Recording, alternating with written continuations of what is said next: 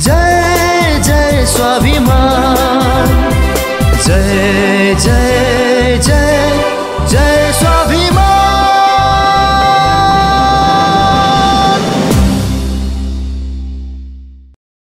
जय स्वाभिमान।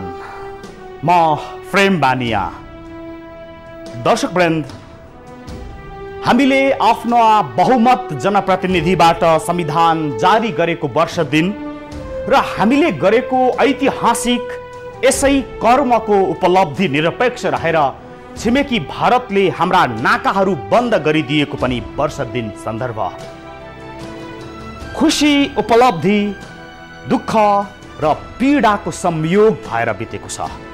यो वर्ष नेपाली स्वाभिमानको एक उच्चतम उपलब्धि विरुद्ध भारतले जे गर्यो त्यसको पीडामा डुबेर हामी फेरि कहिल्यै यस्तो नहोस् भन्दै यो सन्दर्भ जोड्दछौँ। आजको जय स्वाभिमानमा। नेपाली स्वाभिमानमाथि कहिल्यै विषेक नहुने गरी छिमेकी देश भारतले पछिल्लो पटक नेपालमा नाकाबन्दी गरेको पुरापुर एक वर्ष भएको छ। स्वतन्त्र देश नेपालको सार्वभौम संविधान सभाको अत्यधिक बहुमतबाट पारित नयाँ संविधानप्रति असन्तुष्टि राखेर अघोषित रूपमा भारतले गरेको नाकाबन्दीका कारण स्वाभिमानी नेपाली मन नराम्ररी दुखेको छ। नाकाबन्दीका कारण झेल्नु परेको अतिशास्ति र आफ्नो मुलुकप्रति छिमेकीले हेर्ने कुदृष्टिका कारण नेपाली मनमा परेको चोट सजिलै विषेक हुने प्रकृतिको छैन। गत वर्ष असोज तिन गते नेपालमा संविधान सभाबाट नयाँ संविधान जारी भएपछि भारतको विदेश मन्त्रालयले नेपालको संविधानलाई नोट गरेको भनेर विज्ञप्ति निकालेको थियो र तत्कालीन समयमा संविधानको विरोध गरिरहेको मधेसी मोर्चाको माग पुरा गर्न भारतले प्रत्यक्ष अप्रत्यक्ष दबाब दिइरहेको थियो। त्यसै बेला नेपालमा भारतले नाकाबन्दी गरेको थियो। संविधान जारी हुने संघारमा नेपाल आएका भारतीय प्रधानमन्त्री नरेन्द्र मोदीका विशेष दूत एस जयशङ्करको सुझावलाई नमानेर नेपालमा संविधान जारी भएका कारण पनि भारत रुष्ट भएको थियो। एक अर्थमा भारतले नेपालमा जारी भएको संविधानमा आफ्नो हिस्सा खोजेको थियो तर त्यसो नभएपछि उसले निर्ममतापूर्वक नाकाबन्दी गरेको थियो। भारतले गरेको नाकाबन्दीलाई मधेसमा आन्दोलन गरिरहेको दलहरूले साथ दिएका थिए जसकारण भारतले नाकाबन्दी नगरेको भन्ने ठाउँ पाएको थियो। भूकम्प र मधेस आन्दोलनका कारण समस्यामा परेको नेपालीको दैनिकी नाकाबन्दीका कारण जर्जर बन्यो। पेट्रोलियम पदार्थदेखि खाद्यान्नसम्मको हाहाकार भयो। नेपालीहरूको चाडपर्व समेत प्रभावित भयो। करिब पाँच महिनाको नाकाबन्दीमा अनेक शास्तिको सामना गर्नु परे पनि भारतका सामु नेपाली स्वाभिमान गिराउन नहुने भन्दै धेरै ठाउँमा प्रदर्शन भयो। नेपाली स्वाभिमानका सामु अन्तत भारतले घोडा टेक्यो नाकाबन्दी खुल्यो। जर्जर बन्दै गइरहेको दैनिकी क्रमशः सहज बन्यो। संविधान सभाबाट संविधान जारी भएपछि एमाले अध्यक्ष केपी शर्मा ओलीको नेतृत्वमा बनेको सरकारले भारतीय हस्तक्षेप विरुद्ध घुँडा नटेक्ने उद्घोष गरेको थियो। त्यही बीचमा चीनसँग नेपालको व्यापार तथा पार वहन सन्धि भयो जसबाट भारत झस्किएको छ र अहिले भारत नेपालसँग आफू अनुकूल नजिक हुन खोजिरहेको छ। नयाँ संविधान जारी भएको एक वर्षको अवधिमा दुईवटा सरकार बनिसक्यो। अघिल्लो सरकारले छिमेक सम्बन्ध बिगारेको आरोप लगाइयो र अहिले ए माओवादी अध्यक्ष पुष्पकमल दाहालको नेतृत्वमा बनेको सरकारले भारतसँगको सम्बन्ध प्रगाढ बनाउने प्रयास गरिरहेको बताएको छ। बिग्रिएको सम्बन्ध सुधारलाई मूल एजेन्डा बनाएर नाकाबन्दीको वर्ष दिन पुरा हुनै लाग्दा प्रधानमन्त्री दाहालले भारतको राजकीय भ्रमण गरे। उनको भारत भ्रमणका क्रममा भारतले नेपालको संविधानलाई स्वागत नगरेका कारण सम्बन्ध सुधारका मामलामा परिणाममुखी नभएको विश्लेषण भइरहेको छ। यससँगै प्रधानमन्त्री दाहालको भारत भ्रमणका क्रममा जारी भएको पच्चिस बुधे संयुक्त वक्तव्यका केही बुदाका विषयमा नेपालमा चर्को आलोचना भइरहेको छ। यसप्रति प्रतिपक्षी एमाले निकै आक्रामक ढङ्गमा प्रस्तुत भयो र उसले प्रधानमन्त्री दाहालको भारत भ्रमणप्रति कडाभन्दा कडा टिप्पणी गरिरहेको छ।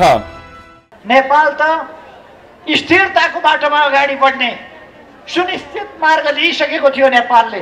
त्यसै कारण नेपाललाई स्थिरताको बाटोमा जान नदिन। सबभन्दा लोभी पाठो खोजेर हरियो घाँस देखाउने काम। दाहिने हातमा लिएको खुकुरी नदेख्ने देब्रे हातमा लिएको हरियो घाँस देख्ने म्याम्या गरेर पछाडि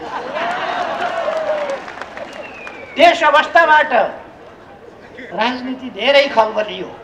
नेपाली जनता आज सचेत भइसकेको छ नेपाली जनताले बुझिसकेको छ र यी गौरवशाली पुर्खाका सन्तानहरू नेपालको अहित हुने गरी केही पनि बिग्रिन दिन तयार हुँदैनन्।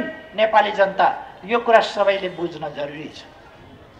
अहिले संविधान कार्यान्वयन गर्न जरुरी छ तर संविधान कार्यान्वयनको कुरा छैन। संविधान संशोधनको कुरा छ। कोही यत्रो उपलब्धि नेपालले संविधान सभाबाट संविधान बनायो। पाँच सातजना मान्छेहरू संविधान सभा छोडेर कागजमा हाजिर पुस्तिकामा हाजिर गर्ने तनखा लिने ठाउँबाट तनखा लिएर खल्तीमा हाल्ने अनि कुदेर सडकमा जाने। कुनै देशको नागरिकले संविधान मान्दिन भन्ने कुरा हुन्छ। संविधानको सर्वोच्चता भनेको सबैले संविधान मान्नुपर्छ। अब संविधान कुनै हेरफेर नहुने दस्तावेज हो र संविधान हेरफेर हुन सक्छ। के का लागि संविधान हेरफेर? नेपाली जनतालाई अधिकार सम्पन्न बनाउनका लागि संविधान हेरफेर हुन सक्छ। नेपालको समृद्धिको लागि संविधान हेरफेर हुन सक्छ। संविधानको कुनै धारा दफा त्यसलाई संशोधन गर्न सकिन्छ। नेपाल राष्ट्रका लागि त्यसको हितको लागि नेपाली जनताको भलाइको लागि समृद्धिको लागि हुन सक्छ। विदेशीलाई चाहिएर अरूलाई चाहिएर अर्काले भनेर संविधान संशोधन हुँदैन। प्रतिपक्षीसँगै कुटनीतिक मामलाका जानकारहरू तथा विश्लेषकहरूले पनि संयुक्त वक्तव्यका कतिपय मुद्दा विवादित भएको बताइरहेका छन्। विवादित मुद्दा। मुद्दा नम्बर दस। संयुक्त प्रेस विज्ञप्तिको बुदा नम्बर दसमा नेपालको संविधान निर्माण प्रक्रिया र संविधानको कार्यान्वयनको लागि सबैको स्वीकार्यता बढाउन नेपाल सरकारले गरेको प्रयत्नको भारत सरकारले स्वागत गर्ने भन्ने उल्लेख छ। यसबाट नेपालको आफ्नै मौलिक संविधान लेखन प्रक्रिया तथा संविधान संशोधन गरी यसको कार्यान्वयन गर्ने जस्तो बिल्कुल आन्तरिक मामलालाई अन्तर्राष्ट्रियकरण गरेको भनेर पनि आलोचना भइरहेको छ। बुदा नम्बर एघार। संयुक्त वक्तव्यको बुदा नम्बर एघार प्रति धेरैको आपत्ति भयो। अन्तर्राष्ट्रिय मुद्दामा भारत र नेपालको समान धारणा राख्ने भन्ने विषयमा आएको उक्त वक्तव्यप्रति चौतर्फी विरोध आएपछि परराष्ट्र मन्त्रालयले विज्ञप्ति जारी गरेर स्पष्टीकरण दिनु परेको थियो। मन्त्रालयले उक्त मुद्दा अन्तर्राष्ट्रिय मान्यता अनुसार नै भएको दावी गरेको छ। बुदा नम्बर बाह्र। बुदा नम्बर बाह्रमा नेपाल भारत खुल्ला सिमानाले सिर्जना गरेका द्विपक्षीय समस्याको वैज्ञानिक समाधान खोज्नुको सट्टा त्यसलाई विशिष्ट प्रकारको सम्बन्धको परिभाषा गर्दै सीमा नियमन गर्ने विगतदेखिको मान्यता परित्याग गरिएको भन्दै नयाँ शक्ति नेपाल लगायतले विरोध गरेका छन्। बुदा नम्बर तेह्र। संयुक्त प्रेस विज्ञप्तिको बुदा नम्बर तेह्रमा नेपाल भारत बीच सञ्चालित परियोजनाहरूको अनुगमन गर्ने संयन्त्र गठन गर्ने प्रस्ताव गर्दै नेपाल सरकार र भारतीय दूतावासका वरिष्ठ अधिकारी संयन्त्रमा रहने कुरा उल्लेख छ। नेपालमा सञ्चालित परियोजनामा बाह्य अनुगमन आपत्तिजनक भएको र नेपालको तर्फबाट नेपाल सरकार स्वयं रहने र भारतीय सरकारको तर्फबाट दूतावासका वरिष्ठ अधिकारी रहने कुरा कुटनीतिक मर्यादा विपरीत हुने भन्दै प्रतिपक्षी एमाले र नयाँ शक्ति नेपालले आपत्ति जनाएका छन्। मुदा नम्बर बिस। मुदा नम्बर बिसमा प्रस्तावित रक्सोल अमलेखगञ्ज पेट्रोलियम पाइपलाइनको स्वागत गरिएको छ। उक्त पाइपलाइन निर्माण आवश्यक छ तर त्यसबारे गत वर्ष भएको सम्झौताले भारतीय एकाधिकारलाई वैधानिक बनाउने र नेपाल भारत बाहेकको अन्य विकल्प खोज्न स्वतन्त्र नहुने कुरा उल्लेख छ। जुन गल्ती सच्याउन आवश्यक रहेको भनेर पनि आवाज उठिरहेको छ।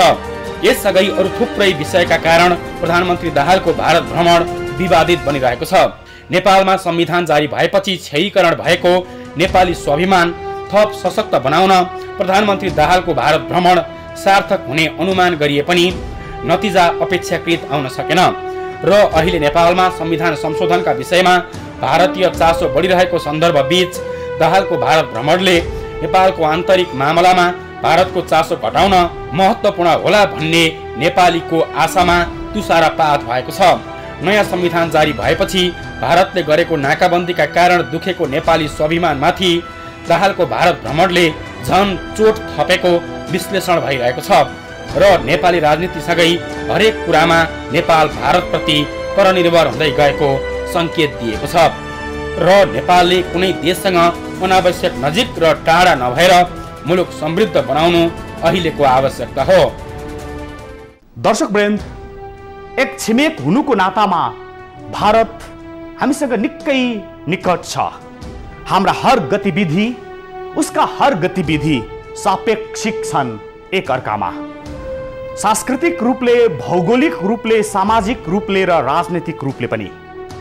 यद्यपि नेपालमा राष्ट्रियताको विकास भन्नु नै त्यसरी भइरहेको छ कि भारतको विरोध गर्नु नै नेपाली राष्ट्रियता जस्तो। र भारतको समर्थन गरे पक्ष पोषण गरे नेपालको स्वाभिमान विरोधी जस्तो। यो गलत ढङ्गले विकास भइरहेको आचरण बिच भारत नेपाललाई बेला बेला धक्का दिइरहन्छ बेला बेला माया गरे जस्तो गरिरहन्छ भन्छन् यसका जानकारहरू। र हामी यो सन्दर्भ जोड्छौँ तर त्यसअघि एकैछिन विश्राम लिन्छौँ।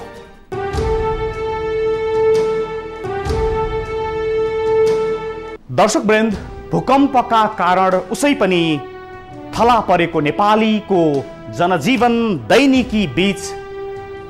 नाकाबन्दी लगाइदिएर भारतले जुन जर्जर व्यवहार देखायो एक वर्ष अघि त्यसलाई हामी कदापि स्मरण गर्न चाहन्नौ। बिर्सिन चाहन्छौँ भन्दा भन्दै पनि यो अमिट भएर रहेको रहेछ।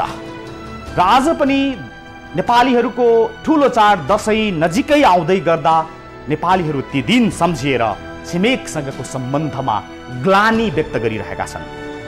र सन्दर्भ यही छ अबको क्रममा। छिमेकी देश भारतको विरोध नै राष्ट्रियता हो भन्ने मानसिकता गलत भए पनि भारतले नेपालप्रति गर्दै आएको व्यवहार भने निकै टिठ लाग्दो छ।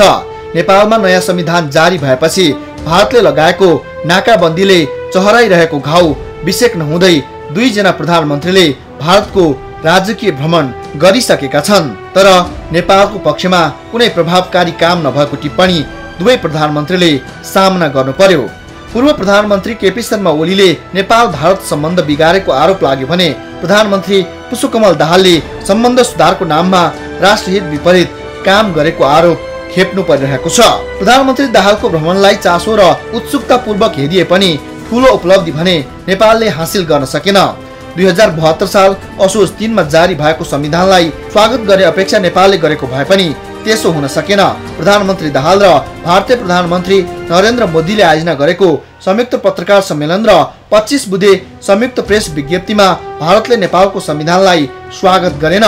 संविधानमा रहेका असहमतिलाई सबै पक्षको सहयोगमा टुङ्ग्याउनु पर्ने भनाइ आउनुले भारत अझै संविधान प्रति सन्तुष्ट छैन भन्ने बुझाउँछ। हुलाकी राजमार्ग निर्माणको व्यवस्थापनका लागि परामर्शदाताको नियुक्ति र अन्य दुई सहुलियत ऋण सम्झौता बाहेक अन्य परियोजनाको बारेमा ठोस उपलब्धि प्राप्त हुन सकेन। यसबाहेक नेपालले पुरा हुन नसकेको पञ्चेश्वर लगायतको परियोजनाको सम्बन्धमा ठोस सहमतिको अपेक्षा गरिएको भए पनि त्यसमा पनि उपलब्धि हुन सकेन। समग्रमा यो भ्रमणलाई दुवै पक्षले सावधानी मात्र अप्नाएको देखिएको विश्लेषण भइरहेको छ। दुई नेता बीचको वार्तामा सन् उन्नाइस सय पचासको सन्धि लगायतका विवादास्पद विषयहरूमा कुनै किसिमको सहमति भएको छैन। प्रधानमन्त्री दाहालको गाउँ ढिकुर पोखरीमा पोलिटेक्निकल इन्स्टिच्युट बनाउने विशाखापट्टनम लगायतको ट्रान्जिट रुट खोल्ने सम्बन्धी यस अघिको सरकारले गरेको सहमतिलाई कार्यान्वयनको विषयमा अगाडि बढाउने पञ्चेश्वरको डिपिआरलाई अन्तिम रूप दिने लगायतका विषयमा मात्रै कुराकानी भएको थियो। महत्वपूर्ण भनिएको भ्रमणको उपलब्धि हेर्नका लागि भारतको व्यवहारलाई हेर्दै जानुपर्ने कूटनैतिक मामलाका जानकारहरूको बुझाइ छ। खास गरी नेपाल भारत बीचको सम्बन्धमा नेपालका नेतै पिच्छे राजनीतिक दलै पिच्छे र वर्षिनै परिवर्तन हुने सरकारै पिच्छे फरक फरक दृष्टिकोण हुनका कारण नेपाल भारत सम्बन्धमा अनावश्यक उतार चढाव हुने गरेको छ। यहाँको अस्थिर राजनीतिकै कारण भारतले नेपालको आन्तरिक मामिलामा चलखेल गर्ने गरेको नेपाललाई आफू अनुकूल चलाउन खोजेको घटनाहरू पनि थुप्रै छन् र नेपालका नेताहरू पनि सत्ता र शक्तिका लागि भारतमुखी भएको आरोप लाग्दै आएको छ। कुनै राजनीतिक परिवर्तनको बेला होस् वा सरकार परिवर्तनको बेला या सरकार गठनपछि नै किन नहोस् नेपालको राजनीतिसँग छिमेक सम्बन्ध र त्यसले पार्ने प्रभावको विषयमा अनेक बहस सुरु हुन्छ। हरेक सरकार प्रमुख वा कुनै पनि राजनीतिक दलका नेताले छिमेकी देशको भ्रमण गर्दा सशङ्कित हुनुपर्ने स्थिति छ। विगतमा भएका कमजोरीकै कारण सरकारप्रति नागरिकको विश्वासभन्दा बढी शङ्का छ। यसको अर्थ नेपालका नेताहरूले अझैसम्म नागरिकको विश्वास जित्न सकेका छैनन्। नेताको व्यवहारकै कारण पटक पटक नेपाली स्वाभिमानमा लागेको चोटका कारण आम स्वाभिमानी नागरिक पीडामा छन् र नागरिकहरूले नेतालाई सधैँ भन्नुपर्ने स्थिति छ कि नेपाली स्वाभिमानमा आँस पुग्ने कुनै काम नगर।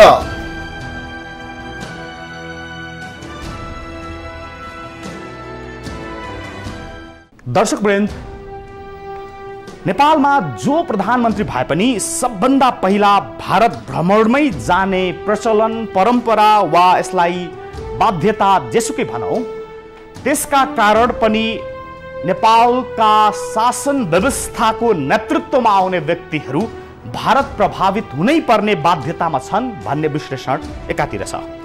अर्कोतिर नेपाल भारत सम्बन्ध जति निकटको हो यसका विविध आयामहरूमा त्यो निकटको सम्बन्धमा भारत मात्रै हावी भइरहेको छ भन्ने आलोचना एकातिर छ। यसको बिचमा भारत विरोधी विचार नेपालमा हुर्किनु बढ्नुमा गत वर्षको नाकाबन्दी ऐतिहासिक रूपमा मुख्य रह्यो। र हामी चाहन्छौँ यो सुमधुर सम्बन्धमा यस्ता नाकाबन्दी वा एकले अर्कोलाई हेला गर्ने दमन गर्ने प्रकारको व्यवहारबाट मुक्त भएर असल छिमेकीको रूपमा रहिरहोस् रहिरहोस् रहिरहोस्। जय स्वाभिमान। जय जय स्वाभिमान। जय जय जय